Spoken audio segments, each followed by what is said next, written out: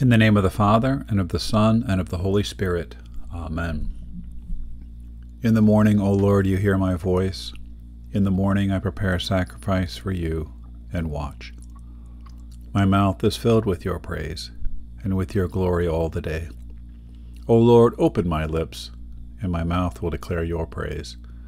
Glory be to the Father, and to the Son, and to the Holy Spirit, as it was in the beginning, is now, and will be forever.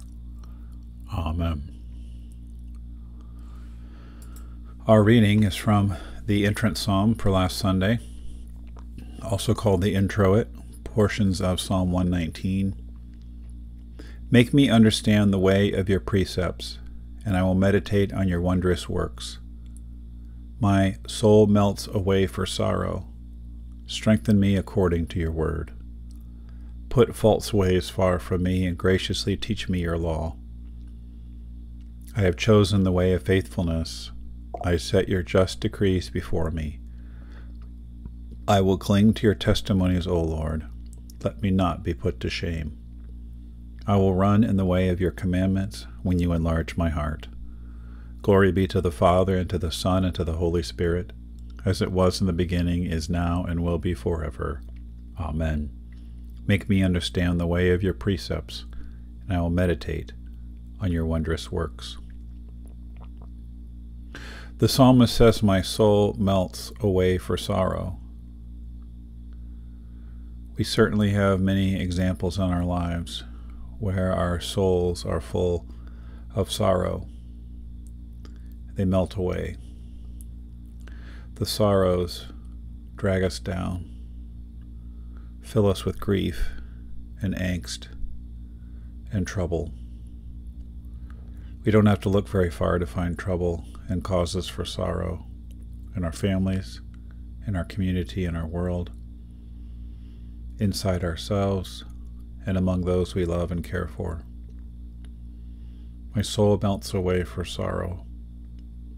But then the psalmist says, Strengthen me according to your word.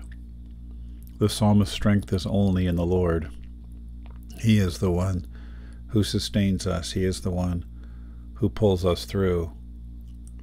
I will cling to your testimonies, O Lord. We cling to him, but he clings to us and holds us close through our deepest sorrow and our biggest troubles.